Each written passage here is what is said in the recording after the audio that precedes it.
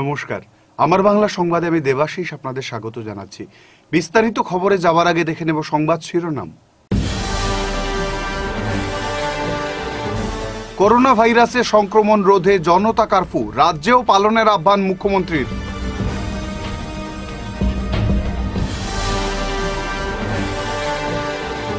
জনতা কারফুর জেরে বাতিল সব প্যাসেঞ্জার ট্রেন। সোমবারও রাজ্য জুড়ে ব্যবসা বন্ধ।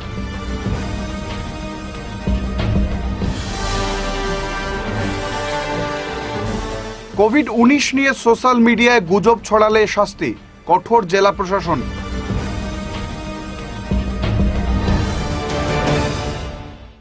এবারে বিস্তারিত আমার বাংলা সংবাদ।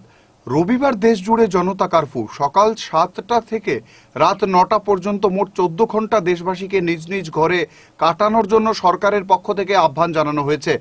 প্রধানমন্ত্রী নরেন্দ্র মোদী করোনা ভাইরাসে সংক্রমণের চেইন ভাঙার লক্ষ্যে এই চোদ্দ ঘণ্টার জনতা কারফু পালনের ডাক দিয়েছেন।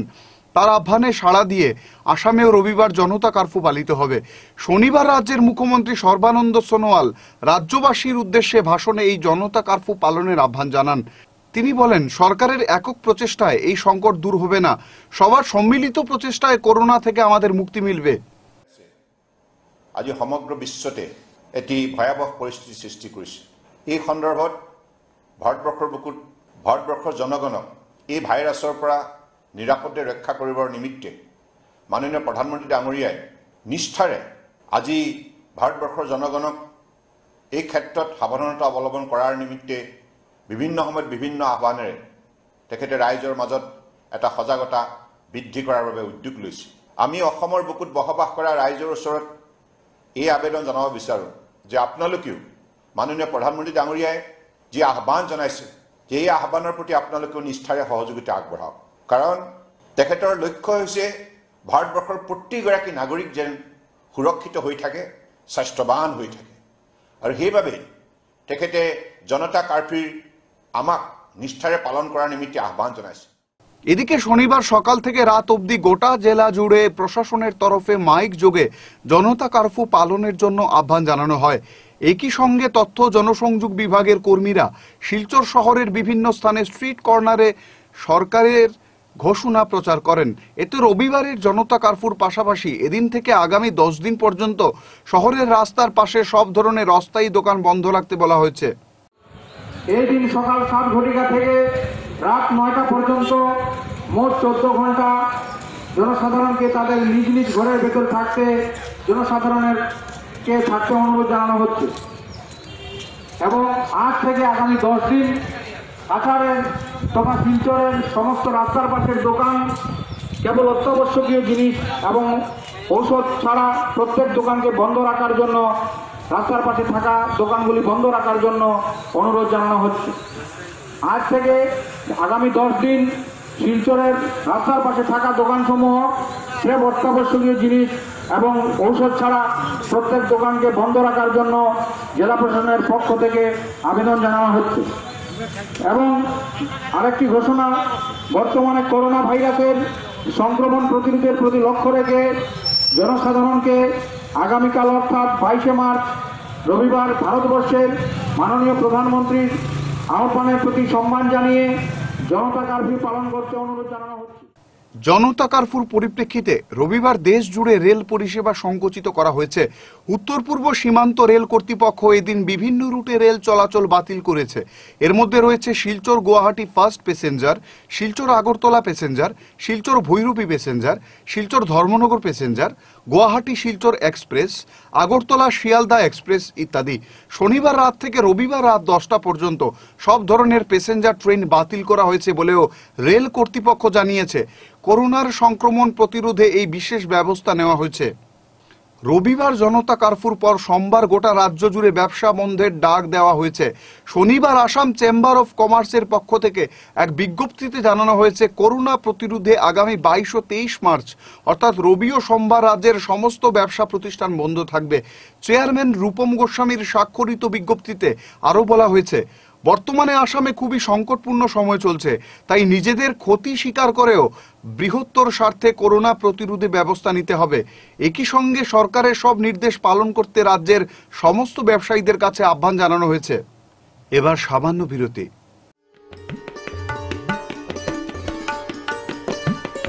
কবরগাহের কাজের জন্য টাকার ঘাটতি দেখা দিয়েছে। উন্নয়নমূলক কাজকে এগিয়ে নিয়ে যাওয়ার জন্য টাকার বিশেষ প্রয়োজন। আপনাদের আর্থিক সহযোগিতা ছাড়া এই কর্ম সম্পাদন করা যাবে না। কবরগাহের উন্নয়নে আপনারা যে যার সাধ্যমতো দান নিয়ে এগিয়ে আসুন। আসসালামু আলাইকুম। আমরা শিলচর এই কবরস্থানের সাহায্যের জন্য আমি সবার কাছে অনুরোধ করছি যে জাতিবর্ণ নির্বিশেষে সবাই এই কবরস্থানে অনুদান দিলে আমাদের কবরস্থানটি খুব তাড়াতাড়ি সম্পূর্ণ হয়ে যাবে। জনসাধারণের কাছে আমরা অনুরোধ রাখছি কোনো সহৃদয় ব্যক্তি যদি এই কবরস্থানের জন্য সাহায্য দেন দেন তাহলে আমরা অত্যন্ত আনন্দিত এবং কৃতজ্ঞতা। যোগাযোগ করুন Sajal Laskar, mobile number nine one zero one three nine five three two seven এবং Nurul Islam Barbhuiya mobile number eight six three eight two eight four five eight seven. কবরস্থান committee Bilpa road, Madhurban, Silchar, Cachar.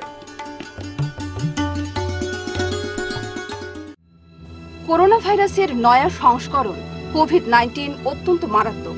ভারতে এই virus বর্তমানে stage টুতে আছে, অর্থাৎ এই ভাইরাসে আক্রান্ত ব্যক্তির থেকে তার ঘনিষ্ঠদের মধ্যে এটি ছড়াচ্ছে। এরপর আসবে স্টেজ থ্রি, তখন এই ভাইরাস সমাজে ছড়াবে। অনেকটা বাইনারি বা পিরামিডের মতো। সেটা হবে অবিশ্বাস্য দ্রুত গতিতে কারণ রোগটা মারাত্মক ছোঁয়াচে। তাই দেশ জুড়ে সতর্কতামূলক এত ব্যবস্থা নেওয়া হয়েছে, যাতে করোনাকে স্টেজ টু বা থ্রির মধ্যে ঠেকানো যায়। ফলে বিশেষজ্ঞরা আগামী এক মাস অত্যন্ত গুরুত্বপূর্ণ বলে মনে করছেন। সরকার শিক্ষা প্রতিষ্ঠান থেকে শুরু করে সব ধরনের জনসমাগম নিষিদ্ধ ঘোষণা করেছে। প্রতিটি ক্ষেত্রেই কঠোর পদক্ষেপ গ্রহণ করা হয়েছে। এই পরিস্থিতিতে কেন্দ্র ও রাজ্য সরকারের সব উপদেশ ও নির্দেশিকা মেনে চলতে হবে। কোনোটাই ফালতু বলে উড়িয়ে দেওয়া চলবে না। স্বাস্থ্যকর্মী ও নিরাপত্তা কর্মীদের কাজে বাধা দেওয়া উচিত নয়। খুব দরকার না পড়লে বাইরে ভ্রমণে যাওয়া আপাতত বাতিল করতে হবে। সামাজিক অনুষ্ঠানে যতটা সম্ভব সবাইকে এড়িয়ে চলতে হবে। কাশি, জ্বর, শ্বাসকষ্ট হলে সঙ্গে সঙ্গে চিকিৎসকের পরামর্শ নেওয়া উচিত। আদা, রসুন, অ্যালকোহল, গোমূত্র ইত্যাদি কোনোটাই কোভিডের বিরুদ্ধে কার্যকরী বলে প্রমাণিত হয়নি। তাই হোয়াটসঅ্যাপ ইউনিভার্সিটির প্রতি প্রভাবিত না হয়ে ডাক্তারের উপদেশ মেনে চলতে হবে। সবার সম্মিলিত প্রচেষ্টায় এই মারণ মহামারী থেকে আমরা রক্ষা পেতে পারি। বিরতির পর আবার ফিরে এলাম। আমার বাংলা পক্ষ থেকে জনস্বার্থে প্রচারিত করোনা ভাইরাস সম্পর্কে সমাজে ব্যাপক গুজব রটানো চলছে। সামাজিক মাধ্যমকে ব্যবহার করে এবং একাংশ ব্যক্তি না জেনে না বুঝে এই গুজব ছড়াচ্ছে। এতে সমাজে অহেতুক আতঙ্কের সৃষ্টি হয়েছে। শনিবার এ ব্যাপারে জেলা প্রশাসন কঠোর সিদ্ধান্ত নিয়েছে। সোশ্যাল মিডিয়ায় ভুয়ো খবর প্রচার করা বিপর্যয় মোকাবেলা আইনের চুয়ান্ন নম্বর ধারা অনুসারে শাস্তিযোগ্য অপরাধ। জেলাশাসক বর্ণালী শর্মা জানিয়েছেন, শুধু সোশ্যাল মিডিয়াই নয়, যে কোনোভাবে গুজব ছড়ালেও সাজা পেতে হবে। মুখে মুখে গুজব ছড়ালেও রেহাই নেই। ভুয়ো খবর প্রচার করলে বা গুজব ছড়ালে সংশ্লিষ্ট আইন অনুযায়ী শাস্তিমূলক ব্যবস্থা নেওয়া হবে। তাই না জেনে এবং খবরের সত্যাসত্য যাচাই না করে কোনো খবর না ছড়াতে জেলাশাসক মানুষের কাছে আহ্বান জানিয়েছেন। করোনা ভাইরাস মোকাবিলায় মানুষের মধ্যে সামাজিক দূরত্ব বজায় রাখার উপর গুরুত্ব আরোপ করেছে রাজ্য সরকার। ভাইরাস প্রতিরোধে কাছাড়েও সতর্কতামূলক ব্যবস্থা গ্রহণ করা হয়েছে। ইতিমধ্যে জেলা শাসক বর্ণালী শর্মা জেলায় একশো চুয়াল্লিশ ধারা জারি করেছেন। যার অধীনে শহরের বিভিন্ন স্থানে চা স্টল পানের দোকান, মিষ্টির দোকান ইত্যাদিতে দুজনের বেশি মানুষের জড়ো হওয়া নিষিদ্ধ করা হয়েছে। একই সঙ্গে সবাইকে অন্তত এক মিটার দূরত্ব বজায় রেখে চলতে বলা হয়েছে। ফুটপাত এবং স্থানীয় ব্যবসায়ী উভয়ের ক্ষেত্রেই এই নির্দেশ বলবৎ থাকবে। করোনা কিছু মানুষের জন্য পৌষ মাস হিসেবে হাজির হয়েছে। বিশেষ করে ফার্মেসি বা সার্জিক্যাল সামগ্রী বিক্রেতা এবং স্টেশনারি দোকানে যারা মাস্ক এবং হ্যান্ড স্যানিটাইজার বিক্রি করছেন করোনার আতঙ্কে এখন সবার এই দুটি সামগ্রী চাই, কিন্তু বাজারে তার মজুদ একেবারেই নগণ্য। এই সুযোগকে ব্যবহার করে একাংশ অসাধু ব্যবসায়ী চড়া দামে মাস্ক, স্যানিটাইজার বিক্রি করছেন। এ ব্যাপারে জেলা প্রশাসনের হস্তক্ষেপ কামনা করেছেন জেলার সচেতন মানুষ। শিলচরের সমাজকর্মী মিটন বিশ্বাস এ ব্যাপারে বলেন, প্রশাসন কঠোর হলে মাস্ক ও স্যানিটাইজারের চড়া দামে বিক্রি বন্ধ হবে এবং মানুষকেও নাজেহাল হতে হবে না। শিলচর টাউনে যেগুলো মাস্ক বিক্রি হচ্ছে রাস্তার পাশে এন নাইনটি ফাইভ যে মাস্কটা কোভিড নাইন্টিনের জন্য যেটা প্রয়োজন ছিল, সেই মাস্কটা তো আজকে মার্কেটে নেই। কিন্তু যে মাস্ক মার্কেটে আছে, দশ টাকা, বিশ টাকার দামের যে মাস্ক আছে, সেই মাস্ক আজকে চড়া দামে বিক্রি হচ্ছে সত্তর টাকা, আশি টাকা এবং এমনকি একশো টাকা, দেড়শো টাকা পর্যন্ত বিক্রি হচ্ছে। সাধারণ মানুষ সেই মাস্ককে কিনতে পারছে না, আতঙ্কিত হয়ে রয়েছে, ঘরের মধ্যে আছে, কিন্তু যে মাস্ক বাজারে পাচ্ছে সেটা একশো, দেড়শো টাকা, এটা কিনতে পারছে না। সেটা সম্পূর্ণ ইলিগাল হচ্ছে বলে আমাদের মনে- হচ্ছে। আমরাও মাস্ক নিতে এসেছিলাম, কিন্তু দেখছি আজকে একশো, দেড়শো টাকা হওয়ার পর আমাদের অনেক খারাপ লাগছে এবং অনেক গরিবরাও রয়েছে, ওরা কিনতে পারে না। তো সেই জন্য আমরা ডিস্ট্রিক্ট অ্যাডমিনের কাছে সেই এই বার্তাটি পৌঁছে দিতে চাই যে ওনারা যেন কড়া পদক্ষেপ নেন এবং যে চড়া দামে যে মাস্ক বিক্রি হচ্ছে যেটা, সেটা যেন আবার নিয়তায় আসে যাতে সবাই যাতে অন্ততপক্ষে মাস্ক যে জেনারেল মাস্ক যেটা আছে সেটা যেন অন্ততপক্ষে ইউজ করতে পারে। এন নাইনটি ফাইভ তো নেই, যদি ইউজ করতে পারে সবাই, সেই জন্য আমরা রিকোয়েস্ট ব্যবসায়ীরা কেন বেশি দামে মাস্ক বিক্রি করছেন? শনিবার শিলচরে ফুটপাত ব্যবসায়ীদের সঙ্গে কথা বলে জানা গেছে, তারা বেশি দামে এগুলো কিনছেন বলেই দাম বাড়িয়ে বিক্রি করতে হচ্ছে। এটা হলো বিশ টাকা, আমরা এখন কিনা আছে। কাস্টমারের পঁচিশ টাকার উপরে উঠেও আমরা এটা বেচতাম কত কই? জায়গাতেই বিশ টাকা কিনে। এখন এটা হয়েছে বাইশ টাকা। দুইটা আমরা পঞ্চাশ টাকা বেচলাম, এর বেশি বেচলাম না। এটা ছয়ত্রিশশো টাকা শো। ছয়ত্রিশশো টাকা শো, এটা আমরা বেচতাম কত? কাস্টমারের পঞ্চাশ টাকা হলেও আলটিমেটলি চল্লিশ টাকা দেয়। কাস্টমার তো ধরতেই চায় না তাও মুসিবতে পড়ে মানুষের কাস্টমার আমরা তো পাড়ার শক্ত তো আমরা দিলাম দুইটা সত্তর টাকাই দিয়ে দিলাম। ওরা তো আশি টাকা দিয়ে দিলাম। শনিবার মিটন বিশ্বাসের নেতৃত্বে একদল যুবক যুবতী নরসিংপুর ব্লকের অন্তর্গত ডার্বিতে প্রায় একশো তিরিশটি পরিবারের মধ্যে ডেটল সাবান, স্যানিটাইজার, টুথপেস্ট, ব্রাশ ইত্যাদি বিতরণ করেন। করোনা ভাইরাসের সংক্রমণ প্রতিহত করতে সমাজে সচেতনতা বৃদ্ধির লক্ষ্যেই এই প্রয়াস নেওয়া হয়েছে বলে মিটন সাংবাদিকদের জানান। করোনা ভাইরাসের আতঙ্ক সর্বত্রই। তাই আজকে আমরা শিলচর থেকে আমরা কয়েকজন মিলে নরসিংপুর ব্লক অন্তর্গত ডার্বি গ্রামাঞ্চলে এখানে অনেকটি চা বাগান এলাকা রয়েছে, সেখানে অনেকগুলো পরিবার, দুস্থ পরিবার রয়েছে। সেখানে আমরা করোনা ভাইরাসের যে আতঙ্ক রয়েছে, শহরাঞ্চলে অনেক বেশি প্রভাব পড়েছে। গ্রামাঞ্চলে এখানে মানুষরা করোনা ভাইরাস নিয়ে তেমন সচেতন নন এবং করোনা ভাইরাসের জন্য যে প্রিকশন রয়েছে, আমরা কীভাবে পরিষ্কার পরিচ্ছন্ন থাকব, সেই সম্বন্ধেও ওরা সচেতন নন। তাই আমরা শহর থেকে আমাদের গ্রামের দিকে ছুটে আসি। আমাদের সহযোগিতা অশোকদা ছিলেন অশোকদা আমাদেরকে অনেক সময় সহযোগিতা, অনেক সময় সহযোগিতা করছেন। আমরা এই গ্রামের অনেকগুলো প্রায় একশো ত্রিশটির মতো পরিবারকে আমরা সাবান এবং স্যানিটাইজার ইত্যাদি দিয়ে ওদেরকে করোনা ভাইরাসের যে প্রকোপ রয়েছে সেই প্রকোপ থেকে কীভাবে আমরা সরে আসতে পারব সেক্ষেত্রে আমরা কীভাবে সাবধানতা অবলম্বন করতে পারব, সেদিকে আমরা নজর দিয়েছি এবং ওনাদেরকে বুঝিয়েছি কীভাবে করোনা ভাইরাস থেকে আমরা মুক্ত হতে পারি এবং আমরা সেই পদক্ষেপকে আগামী দিনে আরও কয়েকদিন ধরে আমরা যাব, চালিয়ে যাব বিভিন্ন গ্রামাঞ্চলে যেতে চেষ্টা করব। আমরা আজকের এই প্রয়াসকে আমরা সকাল সাড়ে দশটা এগারোটা নাগাদ শুরু করেছি এবং এখানে আজকে প্রায় সাড়ে তিনটার সময় আমরা শেষ করেছি। আমরা আগামী দিনে আরও অন্যান্য গ্রামে বিশ্বে ত্রাস সৃষ্টিকারী করোনা ভাইরাসের সংক্রমণ রোধে পুলিশ প্রশাসনের পক্ষ থেকেও বিভিন্ন সচেতনতামূলক পদক্ষেপ গ্রহণ করা হয়েছে। জেলার প্রায় প্রতিটি থানায় পুলিশ কর্মীরা মাস্ক পরে নিজেদের কর্তব্য সম্পাদনের পাশাপাশি আমজনতাকে বিভিন্ন বিধিনিষেধ মেনে চলার পরামর্শ দিচ্ছেন। ব্যতিক্রম নয়, ধলাই থানাও। থানার প্রবেশ পথে জনগণের সুবিধার্থে রাখা হয়েছে হাত ধোয়ার জল, সাবান ও স্যানিটাইজার। জলের পাশেই দাঁড়িয়ে রয়েছেন পুলিশ কর্মীরা। তারা প্রবেশ পথে জনতাকে হাত ধোয়ার পরামর্শ দেওয়ার পাশাপাশি মাস্ক ব্যবহার করতেও বলছেন। পাশাপাশি বাজার থেকে কাটা ফল সবজি কিনতেও বারণ করছেন পুলিশ কর্মীরা। সেই সঙ্গে রবিবারের জনতা কারফিউ নিয়েও চালিয়ে যাচ্ছেন সচেতনতামূলক প্রচার অভিযান। না এটা পুলিশে না করছে বলে হ্যাঁ? না করছে টিআরপি পুলিশে না করছে হ্যাঁ। কিতালাই না করছে না তো বাইরে লাগিয়া। মাছর বাদে কিনা ভাইরাস আসছে না কিতা হ্যাঁ? মাছও ভাইরাস নি তখন আমরা কিতা কইতাম দাদা আচ্ছা।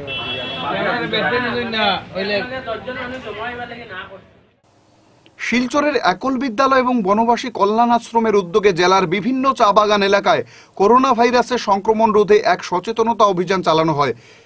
বনবাসী কল্যাণ আশ্রম এবং একল বিদ্যালয় প্রতিষ্ঠানের কর্মকর্তারা এদিন জেলার বিভিন্ন চা বাগান বস্তি এলাকায় গিয়ে চা শ্রমিক পরিবারগুলোকে করোনা ভাইরাসের ভয়াবহতার কথা বুঝিয়ে দেন পাশাপাশি এর থেকে পরিত্রাণ পেতে কী ধরনের পদক্ষেপ নিতে হবে তাদের সে কথাও বুঝিয়ে দেন তারা छोटा छोटा सतर्कता मूलक व्यवस्था ग्रहण करने पड़ेगा जैसा साबुन जल चाहे साबुन दे के चाहे गर्म जल दे के हाथ को बार बार धुलाई करना किसी काशी सर्दी ज्वर वाला आदमी से एक मीटर दूरत्व बजाय रख के चलना अपना घर अपना कपड़ा अपना मुकाम सब कुछ पाए परिष्कार रखना ये सब हम लोग को पालन करना এদিকে সরকারের তরফে জমায়েতে নিষেধাজ্ঞা জারি করা হলেও ভয় এবং সংকটের এই মুহূর্ত থেকে পরিত্রাণ পেতে চা বাগান সহ বিভিন্ন এলাকায় নাম কীর্তন আয়োজন করতেও দেখা গেছে সাধারণ মানুষকে করোনা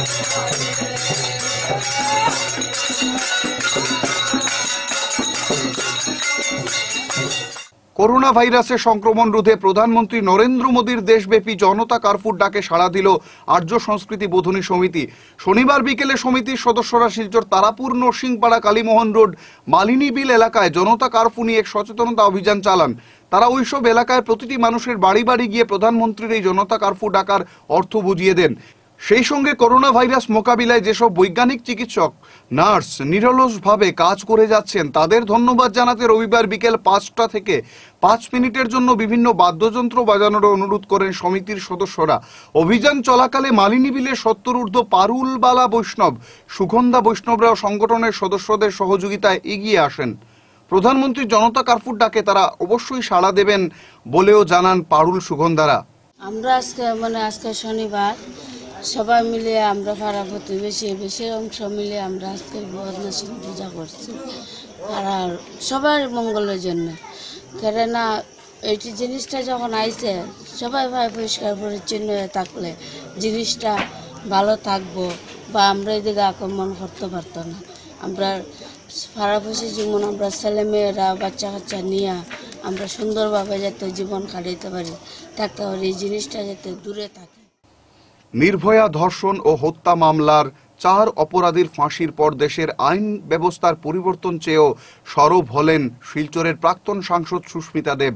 সর্বভারতীয় মহিলা কংগ্রেস সভানেত্রী তথা সুপ্রিম কোর্টের প্রবীণ আইনজীবী সুস্মিতা দেব বলেন দু হাজার বারো সালে সংগঠিত ওই হত্যা মামলার আসামিদের ফাঁসি হলো দু সালে অপরাধীদের শাস্তি দেওয়ার ক্ষেত্রে অনেকটা দেরি হয়ে গেল সুস্মিতা বলেন ফাস্ট ট্র্যাক আদালতে বিচার পর্ব শীঘ্রই সম্পন্ন হয়ে গেলেও তারপর অ্যাপিল আবেদন করে অনেকটা সময় চলে যায় দাবি জানানোর অধিকার সবার আছে কিন্তু এত বিলম্ব তাই এই আপিল ব্যবস্থার পরিবর্তন দরকার जब 2012 में ये घटना हुई थी तो देश के लोगों ने सड़कों पर आंदोलन किया कई कानून हम लाए पर ये तय है कि निर्भया के केस को आ, सात या आठ साल लगे और निर्भया कांड के बाद भी कई ऐसे हादसे हुए महिलाओं के साथ कि हमारे समाज में कोई परिवर्तन आया कि नहीं ये एक बहुत बड़ा प्रश्न है।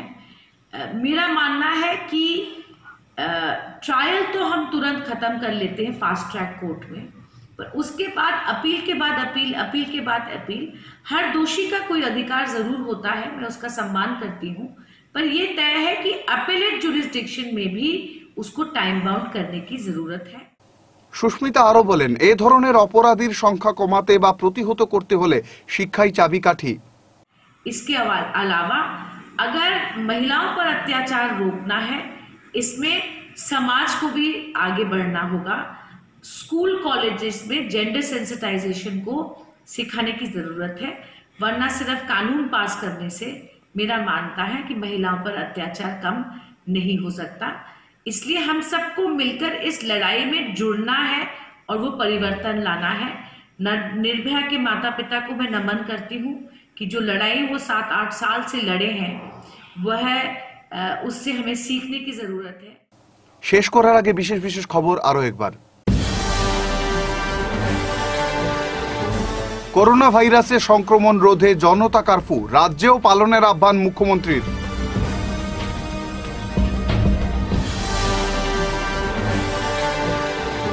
জনতা কারফুর জেরে বাতিল সব প্যাসেঞ্জার ট্রেন, সোমবারও রাজ্য জুড়ে ব্যবসা বন্ধ।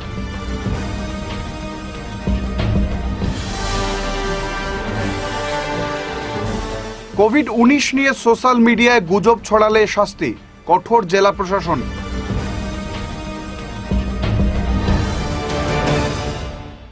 এখনকার মতো সংবাদ এ পর্যন্তই। নমস্কার।